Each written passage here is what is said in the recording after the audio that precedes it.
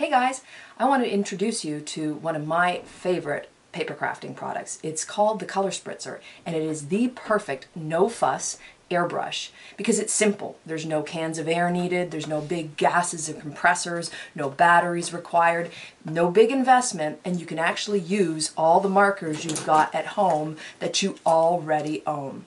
This is designed, this little tool, to turn any marker that you've got into an airbrush and it really is quite simple. And when we say just about any marker, we mean it. It could be your pro markers, your Copic markers, your Sharpie markers, fabric markers, highlighters, any of the pens you've got at home, even food decorating pens. We're going to show you how you can airbrush on food as well. It's a simple tool and it works. You're the motor and that's the neat part about it. And it works with all different tips of markers, different sizes. I'm going to just unscrew this screw here and I'm going to take this sleeve out. And what this allows me to do is fit in some of the larger markers. Now it could be a wedge tip marker, a bullet tip marker, or a brush tip marker. Here I'm using the wedge tip and you just sort of play with it. This will allow you to get a different spray each time. Now the closer you go, the more intense the spray.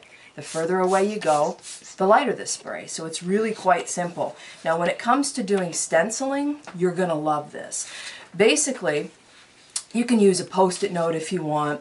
Um, all I'm doing here is I've just got a, a, a cutout to stop any overspray. But you can blend and you can shade just like you would with a real airbrush system. So I'm going to use this one, I think, on the brush tip here. And just, it's a smaller marker, but you just tighten the screw, and all we're going to do is add a little bit of color here. You can go in a dot method, you can go in a sweeping method if you want to. To change the color, all I'm going to do is just change the marker pen. Let's add a little bit of fun in here. I'm going to use a highlighter. But this doesn't actually hurt your marker in any way. It's just blowing the ink off the tip of the marker. And you can get some really incredible effects for your paper crafting. You can see here the nice effect I've got with that. And it's dry pretty much the moment it hits the surface for you. And that's a lot of fun. Anything can become a stencil. So here I just used different marker pens and a pre-done stencil. What if you wanted to use something as simple, maybe as a piece of lace? So that's what I'm doing here. And again, to change the marker, I love the fact that there's nothing that I have to worry about washing up, nothing I have to worry about cleaning up. All I do is just change the marker and I'm ready to go. One of the things I like to do is also buy some uh, items like your embellishments. You know, buy them white and then custom color them to the way you want to custom color them. But here, all you're going to do is just squeeze the bulb, let the air get back in, squeeze, let the air get back in, and blend in shade. If you do mixed media, if you want to use screens, I've used all sorts of odd things to get different imprints take a look at the effect that we've got here. Maybe you want to add an embellishment on the front. You can custom design your own paper. Making a card is really, really simple to do. And I mentioned that you can also use this with your Copic markers. It could be your Copic uh, Ciao markers.